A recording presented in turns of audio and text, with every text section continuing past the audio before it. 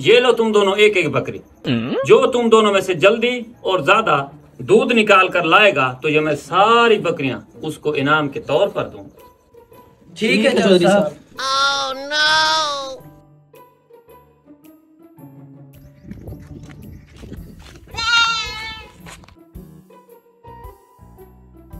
आज सबसे पहले और सबसे ज़्यादा इसका दूध निकाल के जाऊँगा और सारी बकरियों का मालिक बन जाऊँगा।